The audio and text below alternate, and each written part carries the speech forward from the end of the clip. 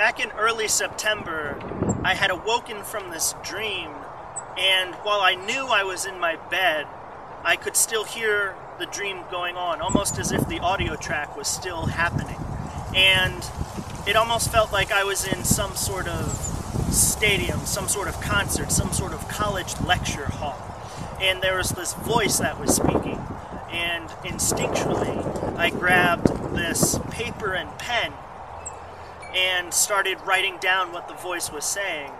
And I may have shared this with some of you before, I don't remember, but I'm sharing it with everyone now. It's a poem, and it's called A Message for All Those on the Path, slash, for the ones answering the call.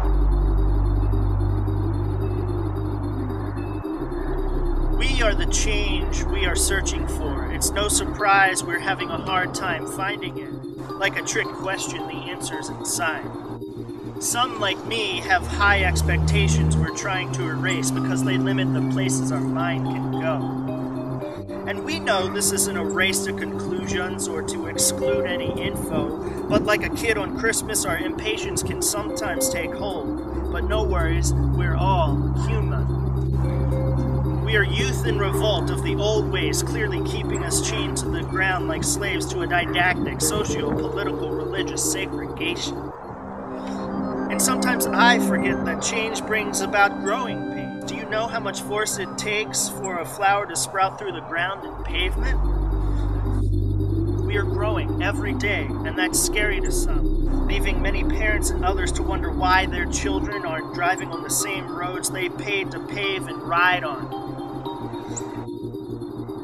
It's because we have our heads higher in the sky and beyond. Roads are antiquated when you can fly, dropping the gas pump, replacing it with light, trying for a better, brighter future, nature as our guide.